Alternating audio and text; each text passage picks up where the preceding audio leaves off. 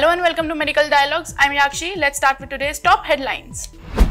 Supreme Court rejects plea to postpone NEET PG 2024. The Supreme Court today, that is on August 9, 2024, dismissed the plea seeking a postponement of the National Eligibility and Entrance Test Postgraduate 2024 examination scheduled to take place on August 11, 2024. Filing the plea before the Supreme Court, the petitioner highlighted the inconvenience faced by the candidates who were allocated test cities far away from their home. Apart from this, the petitioner who challenged the National Board of Examination examination decision of holding the exam in two shifts and apply a normalization formula. However, the apex court bench comprising Chief Justice of India D.Y. Chandrachud and Justices J.V. Pardiwala and Manoj Misra refused to entertain the plea. During the hearing of the case, as soon as the matter was taken up, C.J.I. Chandrachud observed so many problems in the country now to reschedule the PG exam. At this outset, senior advocate Sanjay Hegde, who appeared for the petitioner, submitted it was rescheduled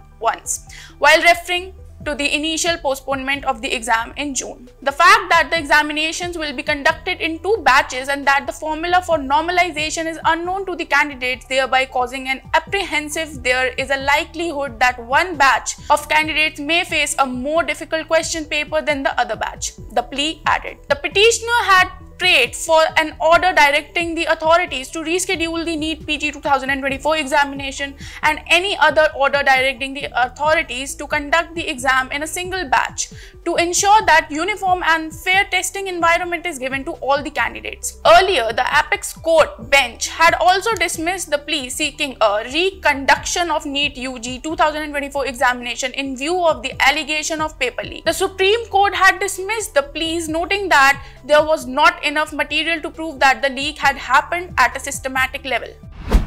Thank you for watching Medical Dialogue. Stay tuned for more updates. Never miss a medical update from Medical Dialogues like, subscribe, and press the bell icon.